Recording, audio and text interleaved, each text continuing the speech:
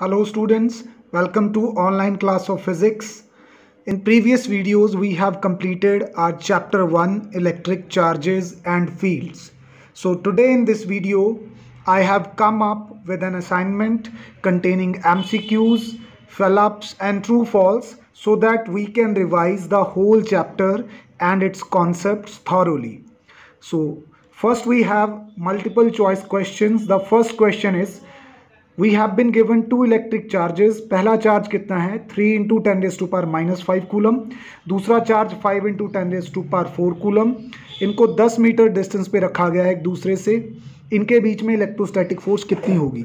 तो electrostatic force calculate करने का फॉर्मूला हमें ऑलरेडी पता है। It is nine into ten raise to power nine into first charge कितना है? Three into ten raise to power minus five into second charge वो कितना है? Five into ten raise to power four divided by what is the distance between them it is ten centimetres इसको metre में convert करेंगे तो ten by hundred यानी कि ten raise to power minus one साथ में इसका क्या आ जाएगा? स्क्वायर अगर आप इस कैलकुलेशन को सॉल्व करो तो आपके पास आंसर बनेगा one thirty five into ten raise to power ten just have a look कि कहीं भी ऐसा कुछ आंसर है हमारे पास? नहीं। ऑप्शन ए और डी के करीब है ये आंसर, लेकिन एक तो यहाँ पे पॉइंट है। तो मुझे अगर यहाँ पे डेसिमल लगाना है तो टेन से डिवाइड करना होगा और टेन सी क्या multiply so match this answer this matches up with option A तो इसका आंसर क्या आएगा? ऑप्शन ए आएगा हमारे पास यहाँ पे।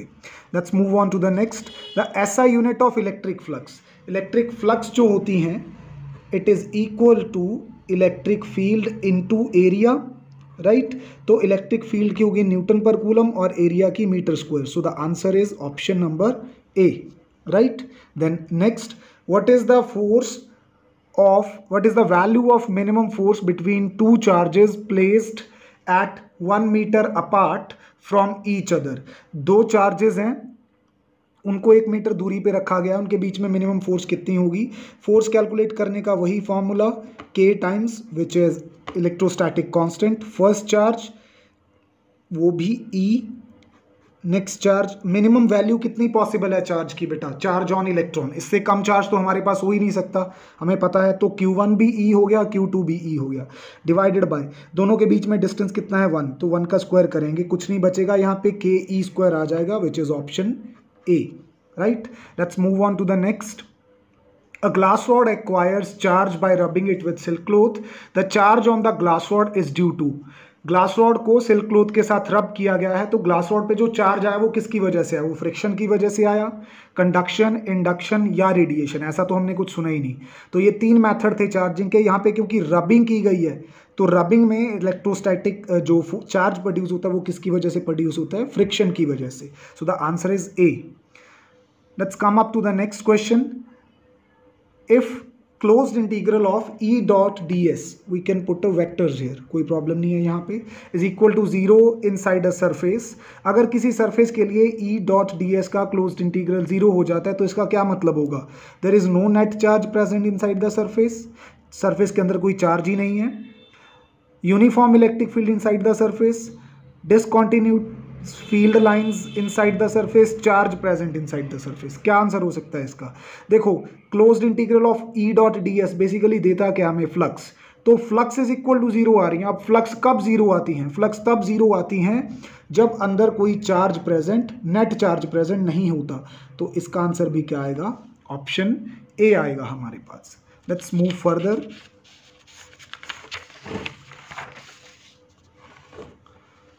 Question number seven. For a point charge, the graph between electric field versus distance.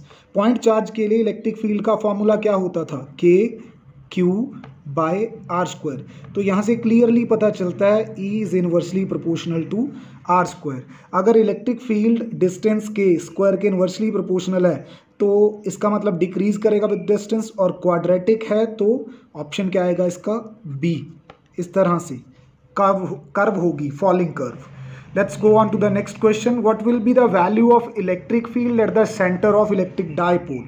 तो एक डायपोल बना लेता हूँ मैं यहाँ पे। इस तरफ़ कौन सा चार्ज ले लिया? माइनस क्यू और इस तरफ़ प्लस क्यू क्या होता है dipole two equal and opposite charges separated by a distance इनका मिड पॉइंट हो गया ये सेंटर ऑफ़ डाइपोल तो यहाँ पे इलेक्ट्रिक फ़ील्ड इंटेंसिटी क्या होगी? अब let's say this is point A and this is point B और इसको बोल देते हैं वो। तो ओ पॉइंट पे ए पॉइंट पे पड़े चार्ज की वजह से फ़ील्ड की डायरेक्शन क्या होगी? इस तरफ़ होगी और क्या होगा ये ई e ए और इसी तरह पे, क्योंकि नेगेटिव चार्ज के टू वर्ड्स होता है। अगर पॉजिटिव चार्ज के लिए ओ पॉइंट पे इलेक्ट्रिक फ़ील्ड देखूँ तो पॉजिटिव चार्ज के लिए भी अवे होता है। So if you see carefully के ड्यू टू पॉजिटिव और नेगेटिव चार्ज जो फ़ील्ड है वो एक ही डायरेक्शन में और किसकी तरफ़ है? नेगेटिव चार्ज की तरफ़ है। तो अगर मैं टोटल फ़ील्ड निकालूँगा तो ये ज़ीरो तो कभी नहीं हो सकता। दो वेक्टर जब सेम ही डायरेक्शन में और उनका कोई मैग्नीट्यूड है तो रिजल्टेंट ज़ीरो आ ही नहीं सकता। They will be added up अच्छा फिर ये देखा जाए कि ए और बी पॉइंट के लिए ओ पॉइंट पे इलेक्ट्रिक फ़ील्ड क्या होगा? सेम क्यों? चार्जेस की वैल्यू भी सेम है और ए से ओ का डिस्टेंस और बी से ओ का डिस्टेंस भी सेम है। O is the mid point तो इसका मतलब magnitude of E A and magnitude of E B आपस में क्या है? इक्वल है। तो अगर मैं टोटल फ़ील्ड निकालूँगा अभी यहाँ पे तो वो होना क्या चाहिए था? E A plus E B but actually E A और ई बी तो आपस में इक्वल है। तो ई बी की जगह अगर ई ए भरूँगा तो ट्वाइस ऑफ़ ई ए आ गया। तो इसका आंसर बनेगा option number C twice the electric field due to one charge at the centre charge on a conducting metal sphere present at किसी मेटल सफियर के ऊपर जो चार्ज होता है, वो कहाँ होता है? On the surface of sphere होता है इनसाइड होता है आउटसाइड द सफियर होता है बोथ इनसाइड आउटसाइड होता है। हमें पता है कि जब किसी मेटल सफियर को हम चार्ज देते हैं, वो उसकी सरफेस के ऊपर रहता है। तो इसका आंसर क्या आएगा? Option A next the value of electric field inside a conducting sphere having radius R and charge Q ध्यान से देखो electric field inside a conducting sphere inside पूछ रहा है कंडक्टिंग सफियर के। हमें पता है कि inside the conducting sphere electric field क्या होता है? ज़ीरो चार्ज तो सरफेस पे रहता है सारा। अंदर फ़ील्ड ज़ीरो हो गया। Next which physical quantity have unit newton per coulomb newton per coulomb newton होती है फोर्स की कूलम होती है चार्ज की। अब ज़रा याद करो फोर्स पर यूनिट चार्ज क्या होता है? It is electric field intensity that is option B right let's go on to the next question in the process of charging the mass of the negatively charge body ये हमने पढ़ा था कि जब किसी बॉडी को चार्ज करते हैं चार्ज करने का मतलब उसको या तो पॉजिटिव चार्ज दें या फिर नेगेटिव चार्ज दें। नेगेटिव चार्ज देना है तो इलेक्ट्रॉन ऐड करने पड़ेंगे पॉजिटिव चार्ज देना है तो इलेक्ट्रॉन निकालने पड़ेंगे। नाउ इलेक्ट्रॉन कैरीज मास तो अगर आप इलेक्ट्रॉन ऐड करोगे, यानी कि पॉजिटिवली चार्ज करोगे तो मास सॉरी, अगर आप इलेक्ट्रॉन ऐड करोगे, यानी कि नेगेटिवली चार्ज करोगे बॉडी को तो मास बढ़ेगा। तो यहाँ पे मास क्या होगा? इंक्रीज होगा। The answer is option A next charge on a body is integral multiple of plus minus E this is given by the law of किसने दिया था ये? कि इंटीग्रल मल्टीपल ऑफ़ ई होता है क्वांटाइजेशन ऑफ़ चार्ज तो answer आएगा इसका डी नेक्स्ट फोर चार्जेस है हमारे पास plus eight Q minus three Q plus five Q minus ten Q इनको किसी क्लोज सरफेस में रखा गया है। जैसे ये मेरे पास अपोज करो कोई भी आर्बिट्रेरी क्लोज सरफेस है, इसके अंदर मैंने ये क्लोज है प्लस एट क्यू रख दिया माइनस थ्री क्यू रख दिया प्लस फाइव क्यू रख दिया, और साथ में माइनस टेन क्यू पड़ा है। तो ये सारे सरफेस के अंदर हैं। तो इस सरफेस से टोटल फ्लक्स कितनी बाहर आएँगी? पहले ज़रा नेट चार्ज तो कैलकुलेट कर लो। अगर कोई नेट चार्ज बचेगा तभी फ्लक्स आएँगी। Eight plus five becomes thirteen so thirteen plus के फाइव प्लस सॉरी ये minus ten plus minus three ये हो गया माइनस थर्टीन तो नेट चार्ज देखे तो वो क्या आता है? Zero if there is no net charge enclose by the surface the flux will also be zero तो आंसर क्या आएगा इसका? Zero volt metre volt metre is the unit of electric flux which of the quantity is vector quantity among the following इनमें से कौन सी vector quantity है? Flux is a scalar quantity. Charge is also a scalar quantity. Electric field intensity is a vector quantity. Electric potential अगले chapter में पढ़ेंगे हालाँकि tenth में भी पढ़ा है हमने potential is a scalar quantity तो यहाँ पे कौन वेक्टर है only electric field so the answer is option C let's go on to the next question charge q is kept in a sphere of five centimetre first and then kept in a cube of side five centimetre यहाँ पे sphere का five centimetre जो कि बना वो radius है। फिर इसको किसी क्यूब के अंदर रख दिया, जिसकी साइड फाइव सेंटीमीटर है। The out going flux will be now we know that according to Gauss law the flux are given by charge contained by permittivity around the charge permittivity of the medium around the charge तो यहाँ पे कोई फ़र्क ही नहीं पड़ रहा कि हमने उसको सफ़ियर में रखा है या क्यूब में रखा है। जब तक आपका चार्ज सेम है, तब तक फ्लक्स भी क्या रहेंगी? सेम। तो इस केस में दोनों कंटेनर से जो फ्लक्स बाहर आएँगी, वो इक्वल बाहर आएँगी। Next question electric field intensity due to a short dipole remains directly proportional to यहाँ पे डायरेक्टली प्रोपोर्शनल है। पहली बात तो क्वेश्चन में थोड़ी सी गलती है यहाँ पे। यहाँ पे डायरेक्टली की बजाय आएगा इन्वर्सली अगर यहाँ पे डायरेक्टली रखना है तो ऑप्शन में वन ओवर वन ओवर करना पड़ेगा। दोनों में से कोई एक चीज़ सही है। आर क्या है?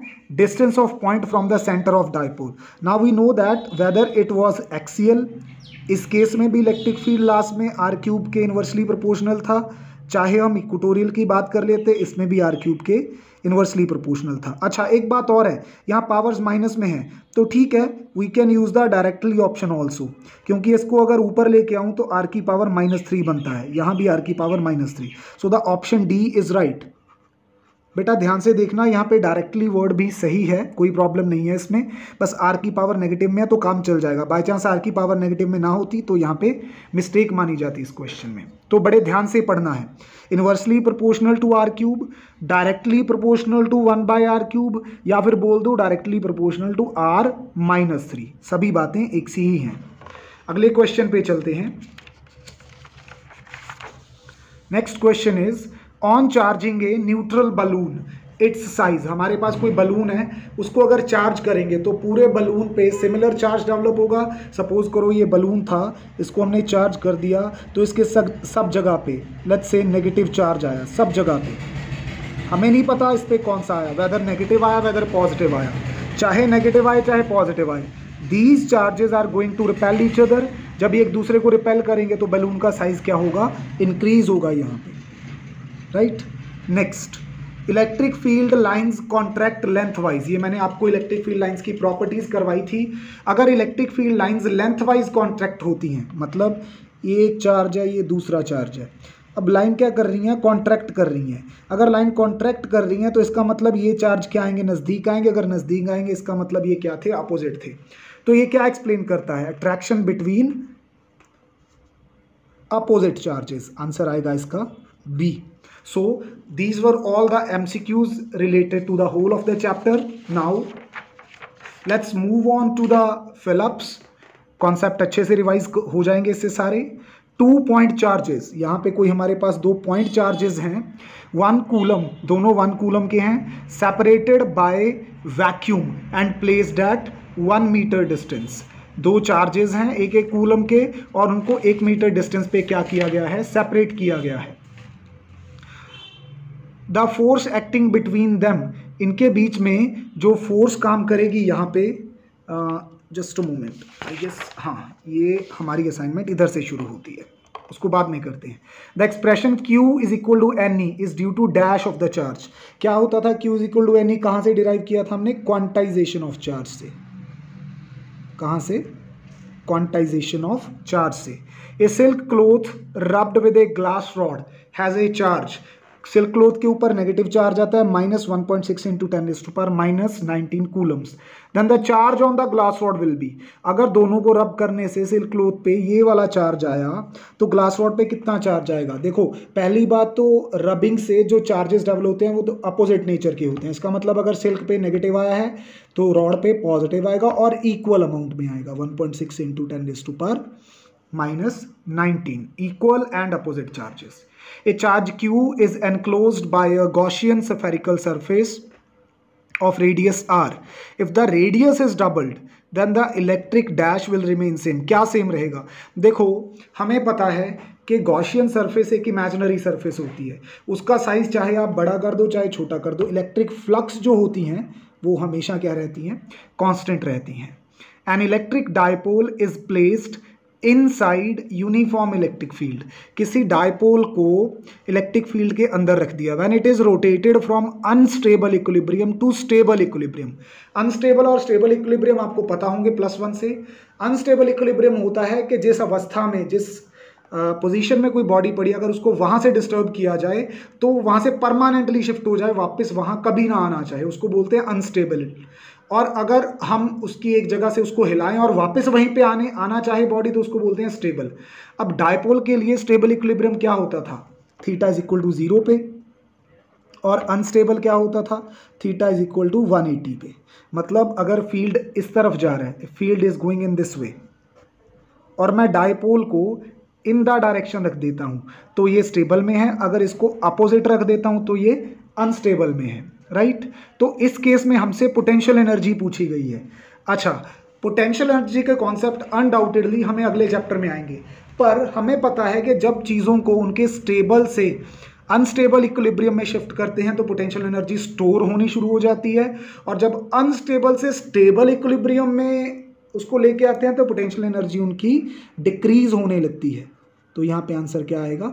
डिक्रीज याद रखना, जब स्टेबल से अनस्टेबल में लेके जाएँगे तो बॉडी को अनस्टेबल करने में जो वर्क खर्च होता जाएगा, वो उसमें पोटेंशियल एनर्जी की फॉर्म में स्टोर होता जाएगा तो पोटेंशियल एनर्जी बढ़ती जाएगी। जब किसी चीज़ को अनस्टेबल से स्टेबिलिटी की तरफ़ लेके आएँगे तो उसकी पोटेंशियल एनर्जी कम होती जाएगी। ऐसा unit of electric field is बहुत बार हो गया ये तो या तो बोल देंगे न्यूटन पर कूलम या होता है वोल्ट पर मीटर दोनों यूनिट्स आप याद रखना। Two point charges are separated by some distance inside the vacuum when the space between charge is filled by some dielectric दो चार्जेस थे, उनके बीच में पहले एयर थी या वैक्यूम था, फिर इसके बीच में हमने कोई ना कोई यहाँ पे डायलेक्ट्रिक भर दिया। डायलेक्ट्रिक्स क्या होते हैं? इंसुलेटर्स प्रीवियस वीडियो में आपको समझाया था। The force between two point charges क्या होगी? डायलेक्ट्रिक्स के आ जाने से फोर्स क्या हो जाती है? डिक्रीज हो जाती है। ये फॉर्मूला याद है? Force between two charges in the medium is equal to force between same two charges when the medium is vacuum divided by dielectric constant तो इसका मतलब अगर डायलेक्ट्रिक कांस्टेंट रखेंगे, जिसकी वैल्यू किसी भी डायलेक्ट्रिक के लिए ग्रेटर देन क्या होती है? वन तो जब ये के डिवाइड हो रहा है और के की वैल्यू हमेशा ग्रेटर देन वन है तो इसका मतलब फोर्स क्या हो जाएगी? वैक्यूम की कंपैरिजन में के टाइम्स डिक्रीज हो जाएगी. Net electric field inside a positively charge conductor किसी charge conductor positively charge conductor है, और कंडक्टर के लिए चार्ज कहाँ पे प्रेजेंट होता है हमेशा उसकी सरफेस पे? अगर सरफेस पे चार्ज पड़ा है तो उसके अंदर इलेक्ट्रिक फ़ील्ड क्या होगा? Zero electric flux is a dash quantity मतलब यहाँ पे पूछा गया कि स्केलर क्वांटिटी है कि वेक्टर क्वांटिटी है? इलेक्ट्रिक फ्लक्स होती क्या है? Number of electric field lines तो हमें पता है कि नंबर काउंटिंग यानी कि कौन सी क्वांटिटी है? स्केलर क्वांटिटी है right let's move on to the next page and next question. ये वही क्वेश्चन आ गया। दो पॉइंट चार्जेस हैं। वन कूलम के, उनके बीच में मीडियम कौन सा है? वैक्यूम है। तो फोर्स कितनी होगी? फोर्स निकालना अब मुश्किल नहीं है आपके लिए। Nine into ten raise to power nine क्योंकि मीडियम क्या है? वैक्यूम और चार्जेस कितने कितने के हैं? वन वन कूलम के। डिस्टेंस कितना है? वन मीटर तो अगर मैं इसको यहाँ पे करूँ तो कितना आंसर आएगा? Nine into ten raise to power nine newton basically ninth question के थ्रू वो आपको करवाना क्या चाहता है? वो वन कूलम की डेफिनेशन करवाना चाहता है। One coulomb is that amount of charge which will attract और repel the same charge with this force when kept at a distance of one metre in vacuum तो इनडायरेक्टली ये assignment आपको आपके basics strong करवा रही है। इसलिए इसको ध्यान से करना। Electric field lines never cross each other या intersect each other. Net electric flux from a closed surface does not depend on the distribution of, किस चीज़ की डिस्ट्रीब्यूशन पे नहीं डिपेंड करता है? चार्ज की डिस्ट्रीब्यूशन पे। मतलब ऐसा नहीं है कि ये क्लोज सरफेस है तो आपको चार्जेस किसी पर्टिकुलर पोर्शन में रखने होंगे। आप चाहे दो चार्जेस यहाँ पे रख दो, चाहे थोड़े डिस्टेंस पे रख दो, चाहे बहुत ज़्यादा डिस्टेंस पे रख दो, जो फ्लक्स आउटवर्ड होंगी वो क्या रहेंगी? कॉन्स्टेंट तो इनकी डिस्ट्रीब्यूशन या पोजीशन मैटर नहीं करती है, जब किसी क्लोज सरफेस में प्रेजेंट है। Direction of electric field intensity due to dipole on equatorial point is equal is dash to the direction of dipole movement हमने इक्वटोरियल लाइन के लिए electric field intensity due to dipole का expression किया था। हमने देखा था कि डायपोल मूवमेंट से अपोजिट डायरेक्शन आ रही थी। किसकी?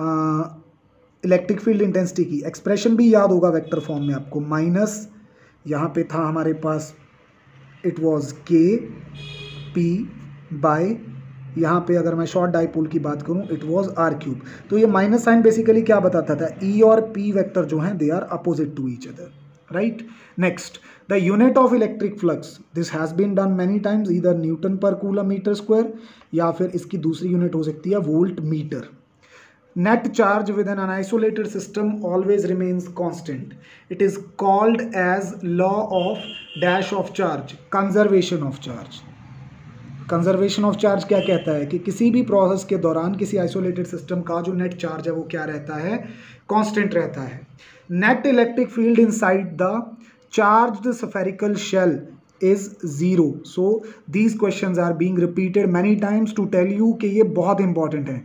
Electric force between, acting between two charges also depends on the medium between them. Coulomb's law की डेफिनेशन क्या कहती थी? Force is directly proportional to product of the magnitude of the charges and inversely proportional to the square of the distance तो यहाँ से हम formula तो बना लेते थे। F proportional to q one q two by r square but साथ के साथ अगले स्टेप में यहाँ पे इक्वल टू क्या लिखते थे? हम लिखते थे k q one q two by r square और बाद में क्या बताते थे कि इस के की वैल्यू किस पे डिपेंड करती है? नंबर वन मीडियम पे number two system of units पे।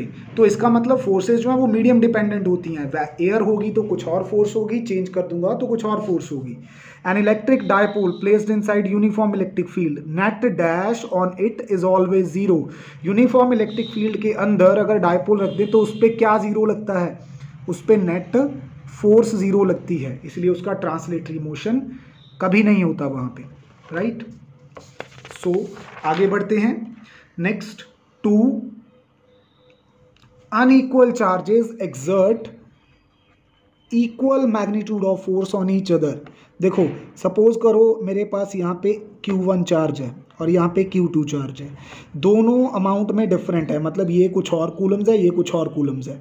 लेकिन जो इनकी एक दूसरे के ऊपर फोर्स है, वो तो इंडिविजुअल चार्ज पे डिपेंड ही नहीं करती, वो तो इनकी किस पे डिपेंड करती है? प्रोडक्ट पे। तो इनकी प्रोडक्ट हमेशा क्या रहेगी? सेम तो इसका मतलब ये दोनों एक दूसरे के ऊपर फोर्स भी क्या लगाएँगे? इक्वल लगाएँगे। Electric dipole movement, electric dipole movement कौन सी क्वांटिटी है? वेक्टर क्वांटिटी है। तो डायरेक्शन क्या होती है इसकी? डायरेक्शन होती है हमेशा नेगेटिव टू पॉजिटिव चार्ज इसका कोई लॉजिक है यहाँ पे? नहीं। ये हमने बाय कन्वेंशन ली हुई है यहाँ पे। An electric sphere of radius 100 centimetre sphere है कोई रेडियस उसका 100 सेंटीमीटर है। चार्ज उस पर two pi by three microcoulombs है। तो उसकी सरफेस चार्ज डेंसिटी क्या होगी? वी नो दैट कि जो सरफेस चार्ज डेंसिटी होती है, वो चार्ज अपॉन एरिया यहाँ पे सफ़ियर का एरिया क्या होगा? It will be four pi r square तो यहाँ पे हमें इसको सॉल्व करना है. Two pi by three micro coulombs है तो इसको कन्वर्ट कर लेते हैं कूलम्स में. टेन रेस टू पर माइनस सिक्स आ गया divided by four pi radius कितना है हंड्रेड सेंटीमीटर। अगर हंड्रेड सेंटीमीटर को मैं इसकी ऐसा यूनिट में लेके आऊँ that comes out to be one metre तो बेसिकली मुझे वन का यहाँ पे क्या करना है? स्क्वायर अगर मैं कैंसिल करूँ तो पहले तो इसको थोड़ा सही करके लिख लेते हैं two pi into ten raise to पर minus six by four pi one का स्क्वायर तो चला जाएगा, नीचे क्या आ जाएगा? थ्री सो टू पाई से कैंसिल करें इसको सिक्स तो ये बनता है one by six. One by six अगर आप सॉल्व करोगे it will approximately come out to be zero point one six तो यहाँ पे मेरा आंसर क्या आएगा? Zero point one six into ten raise to par minus six और साथ में क्या आ जाएगा? सिग्मा की यूनिट सिग्मा की यूनिट क्या होती हैं? कूलम पर मीटर स्क्वायर इसको आप चाहो तो और भी थोड़ा एडजस्ट कर सकते हो। तो जो आपका आंसर जैसे ये प्रॉपरली सिग्निफिकेंट साइंटिफिक नोटेशन में लिखना हो। तो डेसिमल प्लेस एक किधर शिफ्ट करोगे? राइट की तरफ़। राइट की तरफ़ शिफ्ट करने का मतलब है कि आपने इसको एक टेन के साथ यहाँ पे क्या कर दिया? मल्टीप्लाई कर दिया। अगर आपने इसको एक टेन के साथ मल्टीप्लाई किया तो टेन के साथ डिवाइड करोगे और वैसे भी हमें पता है कि जब डेसिमल हम राइट की तरफ़ शिफ्ट करते हैं तो पावर माइनस वन होती है, जितने प्लेसेस शिफ्ट करते हैं। तो यहाँ पे माइनस सिक्स में माइनस वन और किया तो क्या आ गया? माइनस सेवन तो दोनों में से आपका कोई भी आंसर चल सकता है यहाँ पे। Right a proton and an alpha particle enter into a region of uniform electric field एक प्रोटोन है और दूसरा अल्फ़ा पार्टिकल है. The ratio of force on proton to the force on alpha particle force on proton to force on alpha particle. We know that force acting on charge particle is qe तो Q का मतलब होता है यहाँ पे charge E का मतलब electric field proton पे चार्ज कितना होता है? प्लस ई और इलेक्ट्रिक फ़ील्ड कितना है? कैपिटल ई और अल्फ़ा पार्टिकल पे चार्ज क्या होता है? प्रोटोन से डबल होता है. और इलेक्ट्रिक फ़ील्ड कितना है? ई e, तो ई e के साथ ही कैंसिल स्मॉल ई के साथ स्मॉल ई कैंसिल तो क्या रे क्या रेशो बनेगी यहाँ पे? यहाँ पे रेशो बनेगी वन रेशो टू तो बहुत बेसिक क्वेश्चन हैं. Two equal and opposite charges of this magnitude are 15 centimetre apart the equal और ऑपोजिट चार्जेस हैं और किसी डिस्टेंस से सेपरेटेड हैं। मतलब ये बेसिकली यहाँ पे किसकी बात कर रहा है? आपको पहचान में आ जाना चाहिए बाय डेफिनेशन डायपोल की बात कर रहा है। The magnitude and direction of resultant electric field net electric field जो आएगा कहाँ पे? At a point midway between the charges ये अब हम दो बार कर चुके हैं कि किसी डायपोल के मिडवे पे जो इलेक्ट्रिक फ़ील्ड होता है, वो ईदर चार्ज पे की वजह से जितना फ़ील्ड होगा, उसका डबल होगा। ये हम ऑलरेडी प्रूव कर आए हैं। तो मैं यहाँ पे टू ई बी यानी कि पॉजिटिव चार्ज की वजह से निकाल लेता हूँ। अगर इनके बीच में टोटल डिस्टेंस फिफ्टीन है तो ये वाला डिस्टेंस कितना हो गया? हाफ़ डिस्टेंस कितना हो गया? सेवन सेंटीमीटर्स तो अभी मुझे यहाँ पे बस फॉर्मूला अप्लाई करना है। Two into nine into ten raise to पर नाइन ई का फॉर्मूला क्या होता है, वो भी हमें पता है। That is K Q by R square R मतलब डिस्टेंस तो के की वैल्यू यहाँ वैक्यूम में nine into ten raise to par nine charge की वैल्यू कितनी दे रखी है? Point two into ten raise to par minus six divided by ये डिस्टेंस कितना रह गया? सेवन सेंटीमीटर सेवन सेंटीमीटर को अगर मीटर्स में कन्वर्ट करूँ seven into ten raise to par minus two metres तो इसको यहाँ पे सब्सिट्यूट कर देंगे. Ten raise to par minus two metre का यहाँ पे क्या आ जाएगा? स्क्वायर आ जाएगा. Now if I go on to solving this तो मेरे पास यहाँ पे एक पर्टिकुलर आंसर आएगा। That particular answer will be